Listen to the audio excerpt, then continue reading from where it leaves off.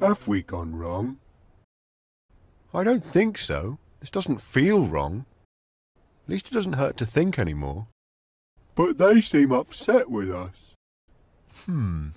Well, maybe they're not in charge of us anymore.